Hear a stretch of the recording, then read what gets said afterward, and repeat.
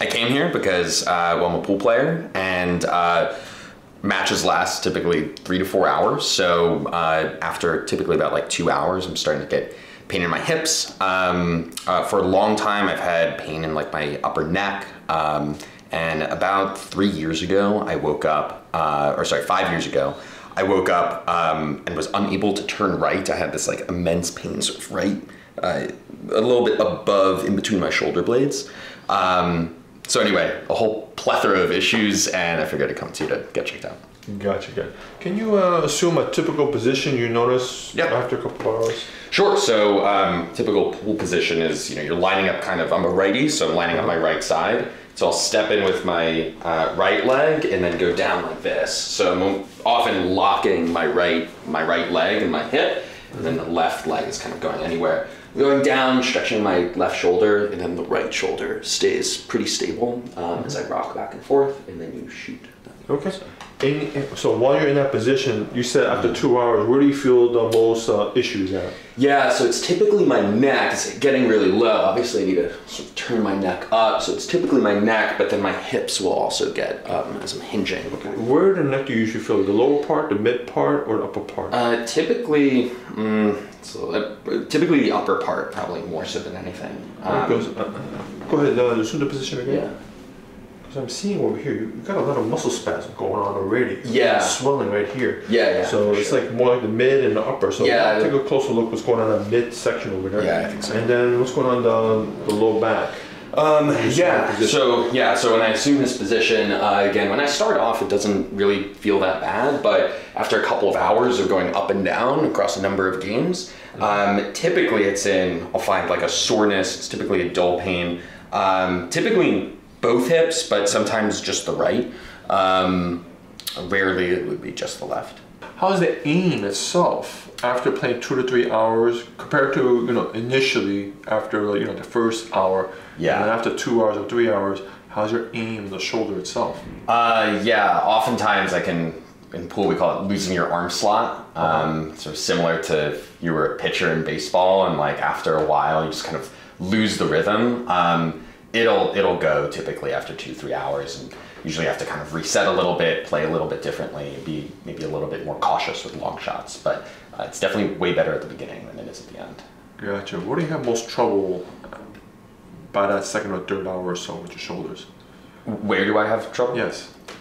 Um, you- uh, how do you mean? Like what kind of pain? Well, when you when you try to like assume the position and you try Yeah. to shoot, what do you notice? You have a little what? You have to like Oh, I see. compensating. Yeah, yeah. So, um, yeah, I'll typically be uh, the one thing you don't want to do is flare your elbow out. But that's exactly what will happen. So after a couple hours, you want to stay as straight as possible. But then, as some pain ensues, uh, often the elbow will flare out, and so now the cue is now moving back and forth. You can miss hit, and Now, first thing I'm looking for is where is the atlas misalignment? So your atlas itself, it's wedged this way and rotating forward this way. So in essence, your head is like, it says, okay, I went forward this way and tilted that way.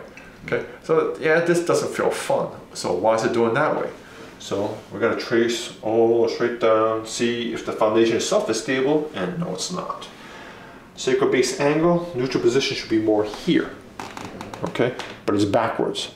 So what make it go backwards? Going to be either a posterior sacrum or ASIN or ASN ilium, okay?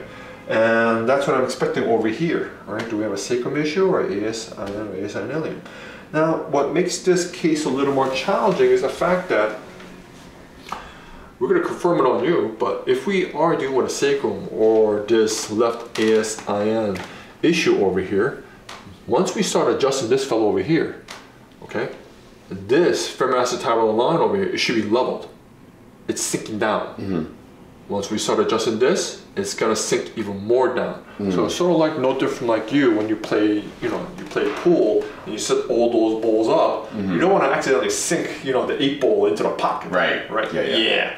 So that's why I'm giving you the heads up biomechanically. And as we start addressing this, okay, and I'm gonna confirm on you whether we got to deal with this fellow or this fellow over here.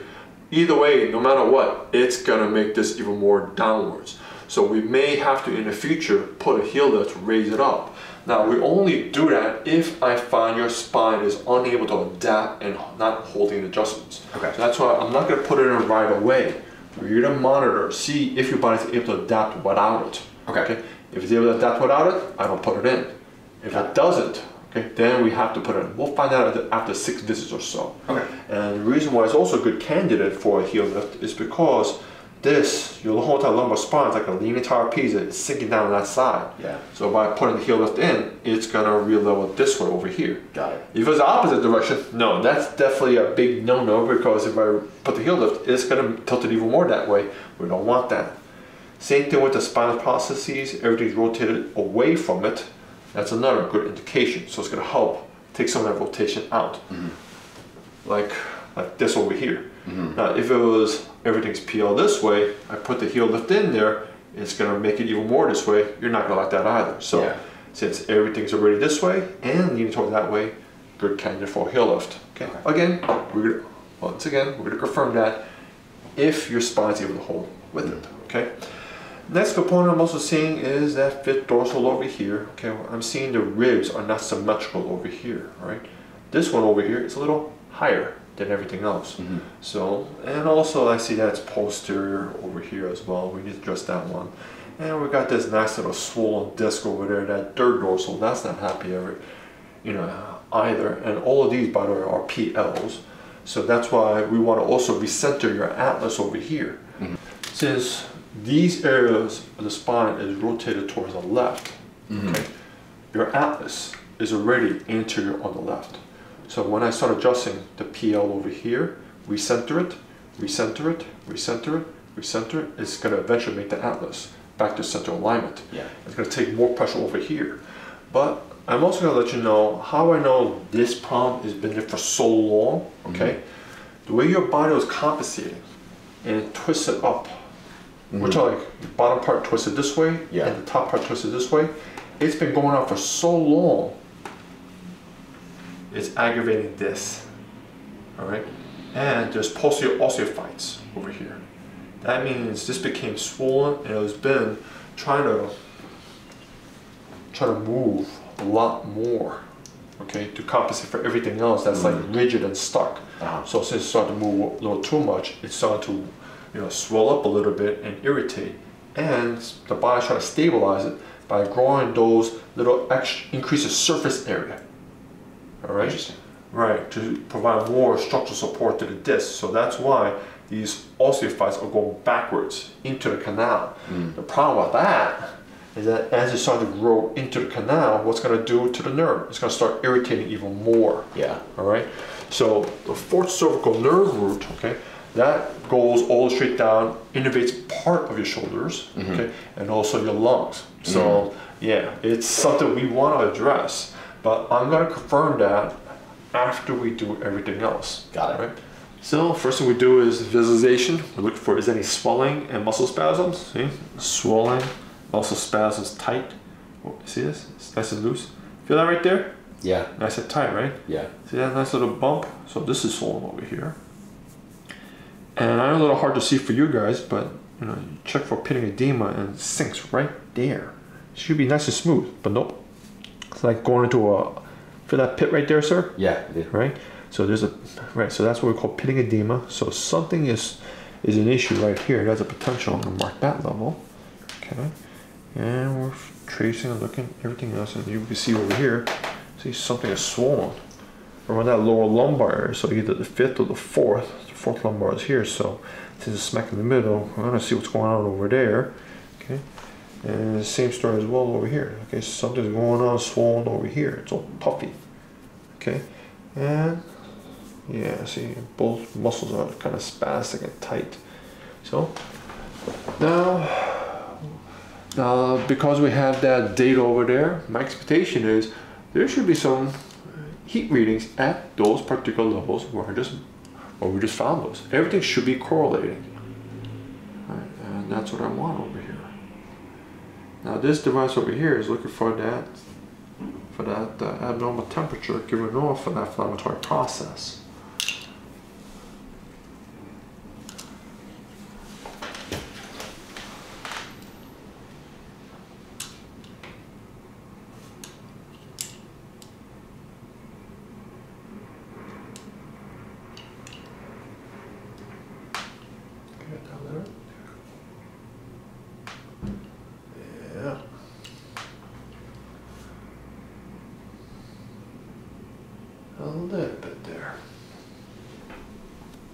Tendon there a bit, huh? Yeah, a little bit. Yeah, it's swollen down here too.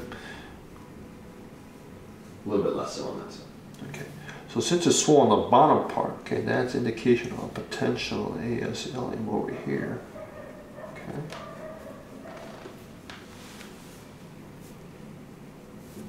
How's that fellow right there? Oh yeah, that's. Yeah, that's not fun. Okay, so right hip is moving just fine. Slight fixation. Slight fixation. Okay. How's that fellow right there? Uh, yeah, that's painful. Yeah, fourth lumbar's not happy. Yeah.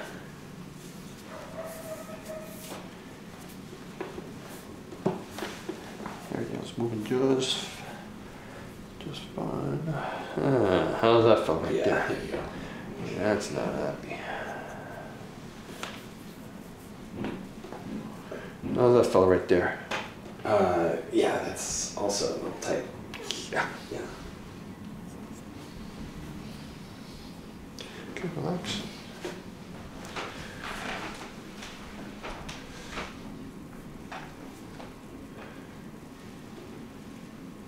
How's that fella right there? Um, uh, definitely. Oh, there it is. Yeah. Yeah, Yeah. yeah, that's just six. Yeah. How's that Oh feel? wow, that's a lot more. That's your fourth. yeah. Yep. How's that fella right there? Um, not so much pain there. See, that's your atlas. It's not too bad.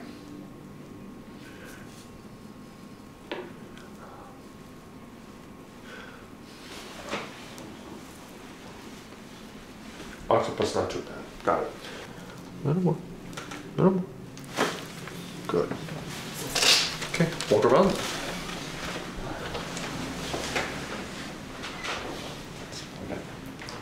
But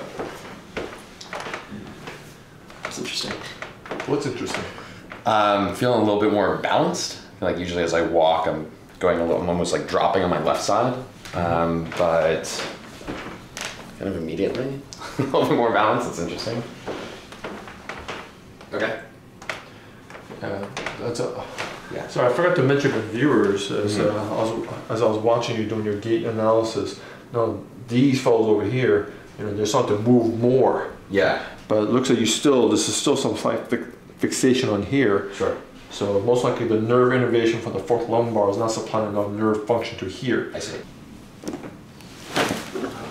Okay, come on up. Walk around. That was intense. That's a lot.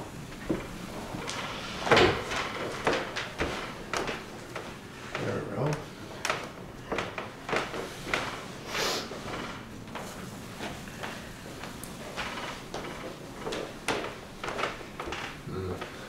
Tell me, what's different there? Yeah, uh, definitely feel like more. Um, I think you were describing before, like a little bit more movement. I think like the first adjustment, I felt more balance, but now I feel like this um, a little bit more mobility that I just I. Uh, it's hard to describe. Uh, that I just feel like I hadn't felt before, and like um, some rotation going on or movement going on lower. Yeah. Nice, Makes nice. sense. But just like I, just like I mentioned before on the X-ray analysis, you know, just like how you try to set up all your shots and you don't Yeah. want to accidentally sink the eight ball in. Yeah. Right? This is exactly what I was concerned about, and I saw during the gait analysis, Uh-huh. your left hip it's already start dropping more Yes. than it should. Yeah, yeah. Okay. So we're gonna keep an eye on that, and you're gonna let me know in the future visits in terms of, uh, in terms of how's your walking gait, jogging gait, stance, all that stuff. Okay. All right. So don't be surprised. You may start experiencing some, some new or maybe a pre-existing old left hip injury or Okay. what have you, discomfort you may experience in the past that may flare up, Got it. show up again, and say, "Hey, Tom, what's going on over there? I'm supposed to feel this pain." I said, "No, Yeah, yeah. I'm letting you know." This thing size something a little bit more. Okay. So we're gonna keep an eye on what's going on in this region over here. Okay. All right. Let it go. Let it go. There is one.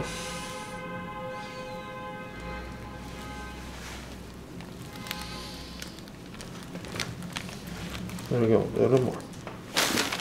There's two. Ooh, this is not moving at all.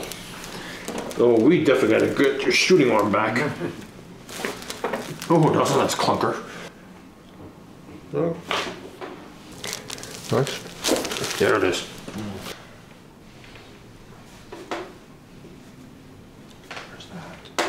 Okay.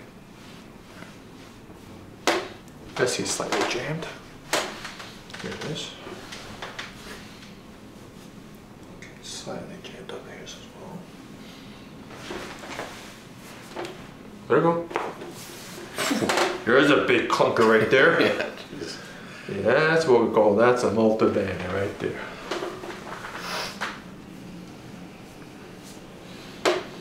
Not too bad. Come on up. Cool. Check the elbows. This is out. There we go.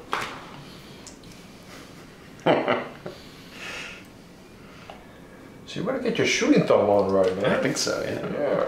There you go. Ooh. Yeah. Let's check your fingers. Not too bad. Put a little bit out.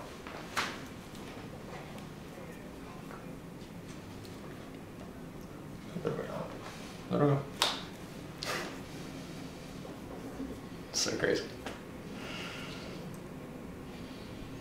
Just that way.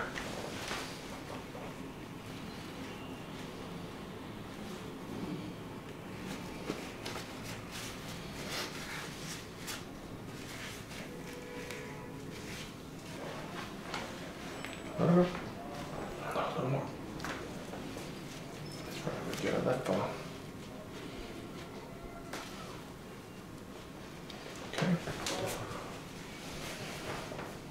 Not too bad.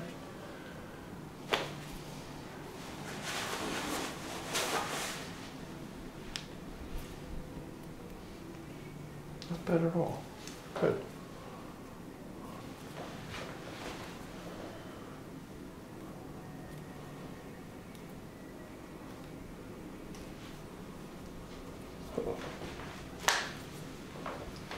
Here goes.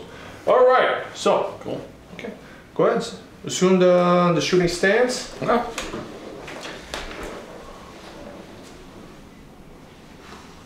Okay, cool. Yeah. Um, oh, I'm not feeling anything in my neck now, which is nice. Uh, usually the hips don't. I don't start feeling anything differently for a couple of hours. So, but just already, that's like way smoother. Yeah. Yeah. Cool. Nice. All right. So tell you what, on the following visit, you let me know, you know, how how I'll have to things go are. through a couple of matches. Yeah. You got it. Give us latest updates. How's everything coming along?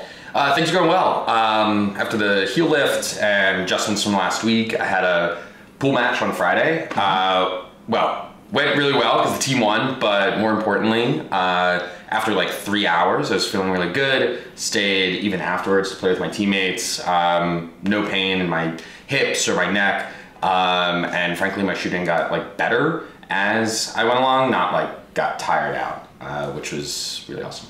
Nice. Well, Yeah. thanks for the updates. Cool, sure.